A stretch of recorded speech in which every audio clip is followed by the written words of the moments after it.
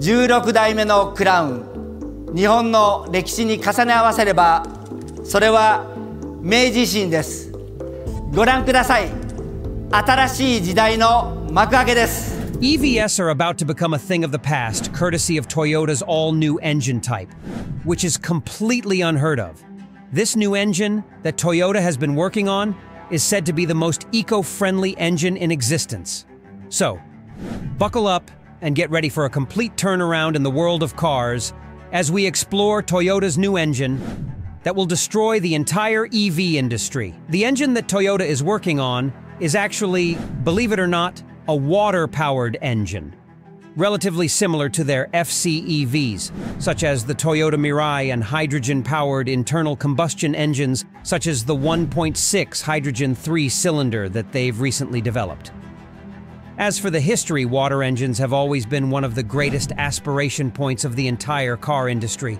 They promise huge benefits over regular engines and EVs, and there have been countless attempts at making water power engines viable and reliable for day-to-day usage to no avail. Well, that's exactly where Toyota is about to jump in with their all-new water engine.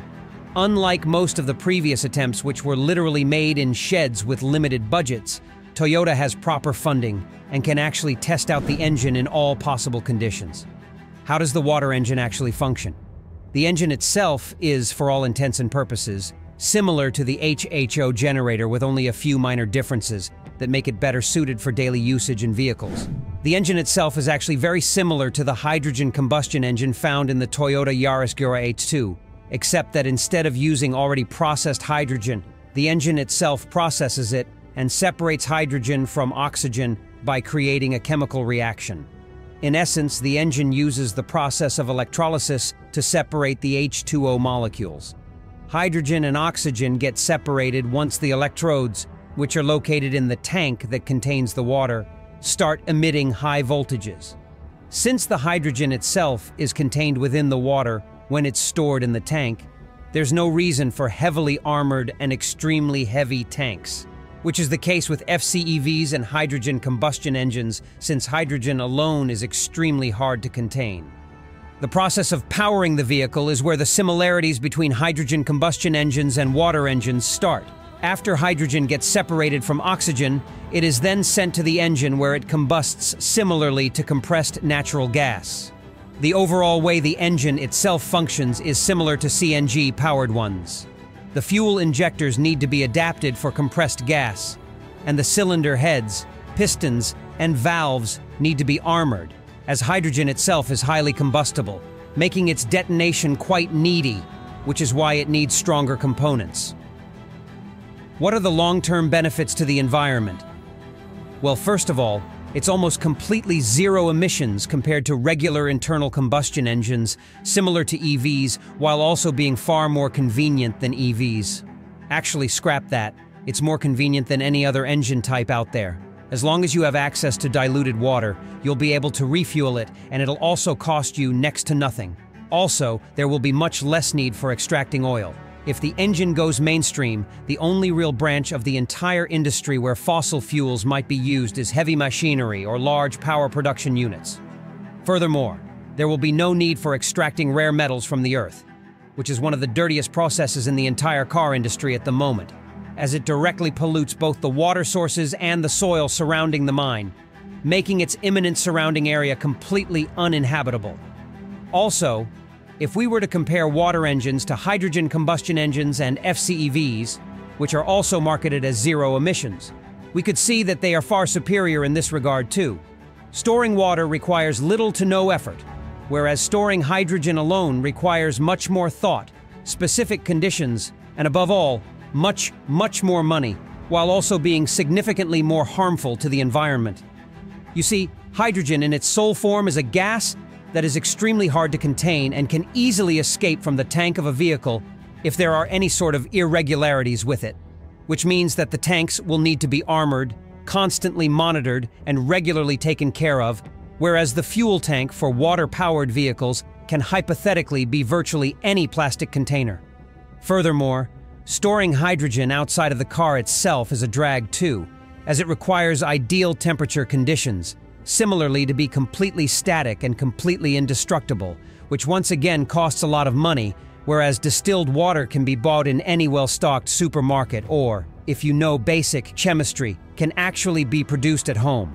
Also, acquiring hydrogen in its sole form is an expensive process, and it, combined with the numerous problems that surround the storage of the gas itself, is the reason why hydrogen hasn't yet caught on, and probably never will.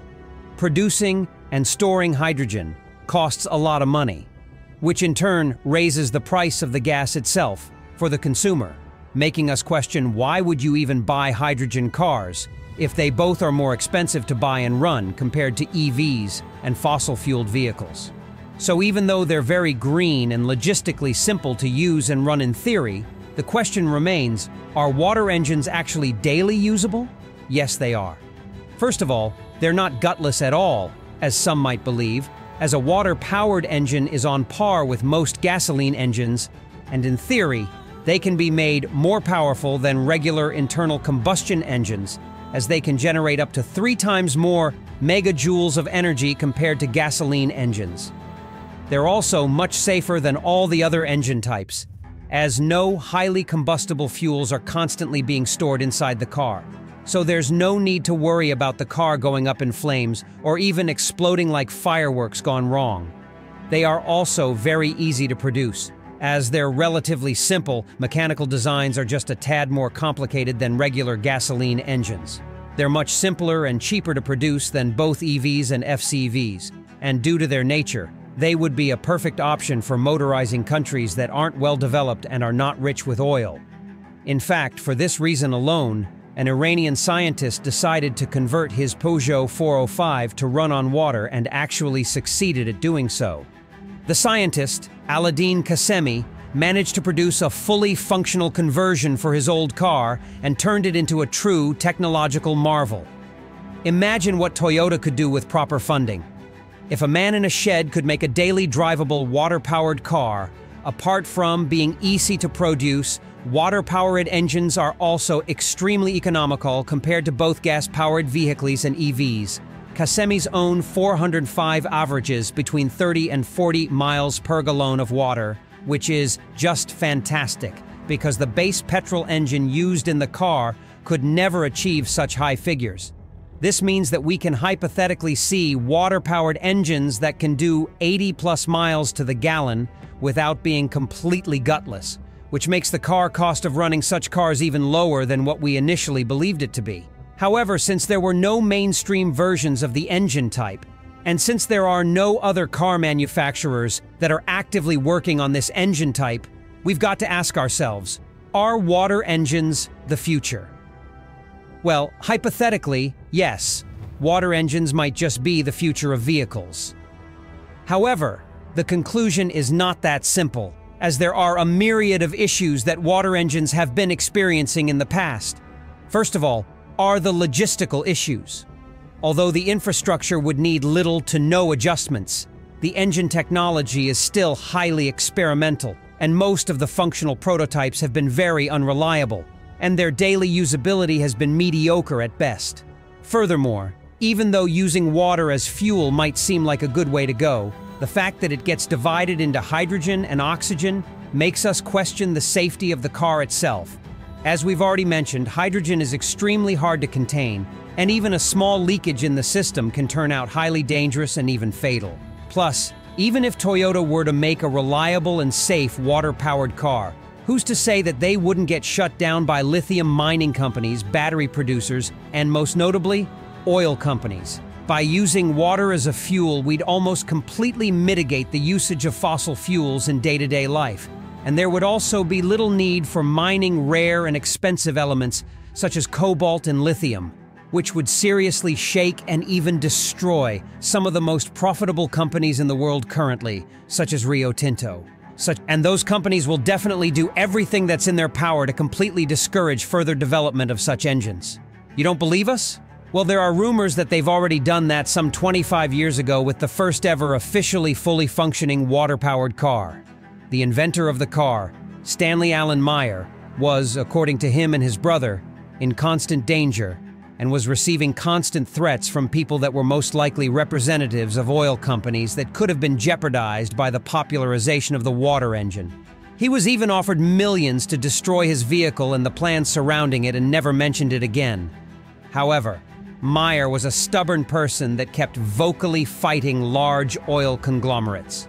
And even if they were actually working on the engine, they are most likely doing so in absolute secrecy, which is why there are still no official confirmations on the project itself.